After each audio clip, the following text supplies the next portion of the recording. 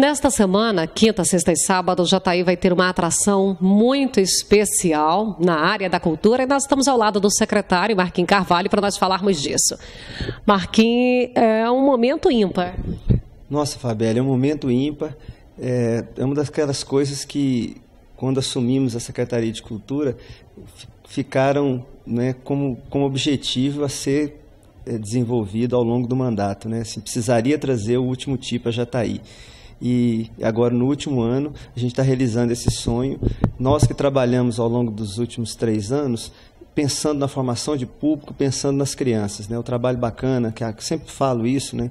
Que a Clara faz no Museu de Arte Contemporânea com as crianças, é, o Museu Histórico recebendo as escolas, enfim, é, aqui no Centro Cultural Brasileiro Toledo França, né? A criação do espaço de, de leitura infantil, enfim, a gente pensa nas crianças acima de tudo, né? que são os consumidores de arte, de cultura que vão transformar a nossa vida cultural ao longo dos, dos próximos anos. E trazer um espetáculo do nível do grupo Último Tipo, é, sem dúvida nenhuma, é presentear as crianças de Jataí com um espetáculo maravilhoso, não só as crianças, porque também haverá um espetáculo adulto, já que o grupo Último Tipo trabalha com focado no universo infantil, mas também tem espetáculos para o público adulto que recebe também criança, que é o grande barato. Quer dizer, o pai pode levar o filho e, e curtirem juntos. e o filho pode acompanhar o pai. E o filho pode acompanhar o pai. Na quinta-feira, é, o espetáculo chama-se A Outra Festa no Céu, um espetáculo de caráter é, com uma pegada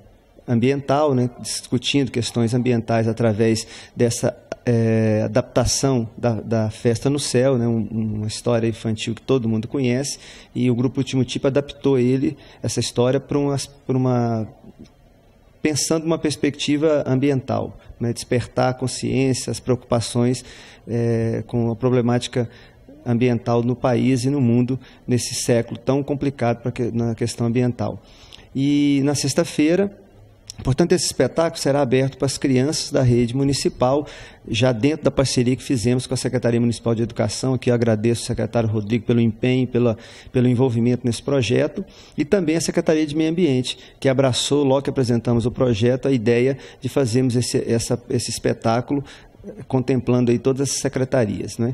Já na sexta-feira, aí um outro parceiro muito legal, que quando liguei, a Camila, é, uma das diretoras do, do Colégio Dinâmico, abraçou o projeto, então fará uma apresentação para os alunos do Colégio Dinâmico, e aí no sábado, às 20 horas, todos os espetáculos na, no Centro de Cultura e Eventos, um espetáculo adulto, chama-se Ciclo do Chulé, Ciclo do Chulé Ladrão de Mulher, um espetáculo para todas as idades e que eu espero que as crianças convidem seus pais e retornem ao Centro de Cultura e Eventos acompanhado dos pais para curtir uma noite muito bacana com o grupo Último Tipo que é um grupo que tem 14 anos de estrada, eles são de Goiânia. Eu vi esse grupo surgir, então eu conheço como ninguém o Del, o Jara, e... Bom, eu acho que eu vi o grupo Último Tipo no Festival das Abelhas em 1993. 93, exatamente. Exatamente. Então, é mistura música com teatro.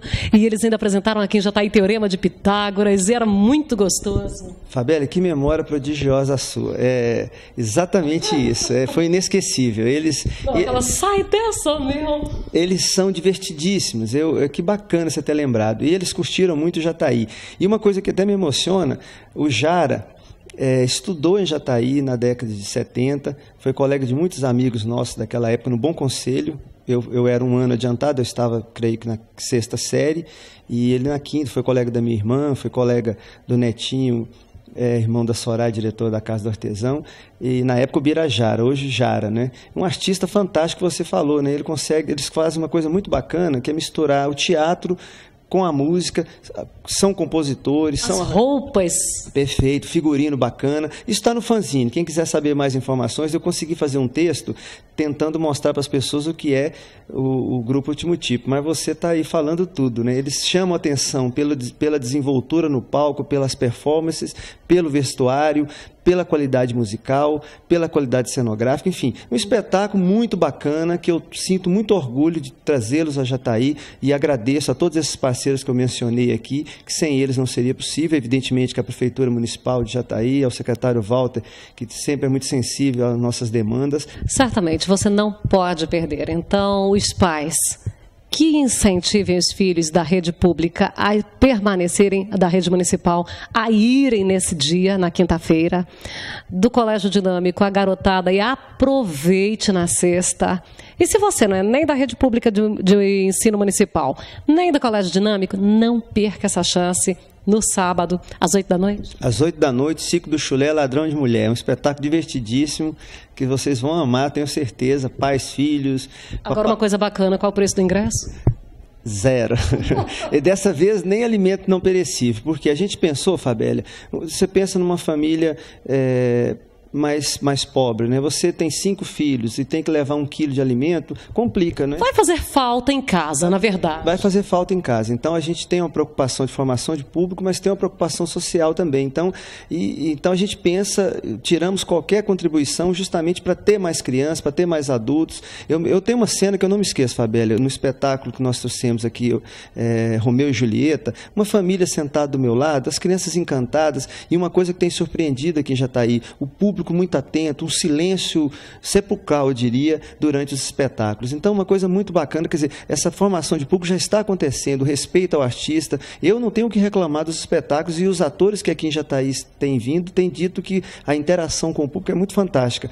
Então, eu, teremos nesse final de semana e eh, ao longo da semana, né, quinta, sexta e sábado, espetáculo muito lindo e eu espero que todos se envolvam, ajudem na divulgação boca a boca, o fanzine está circulando aí e eu agradeço com carinho que você mencionou mencionou esse grupo, para prestigiar um grupo que tem um, um, dos atores que morou em Jataí, um cara super bacana, que é o Jara, estará conosco aí ao longo da semana.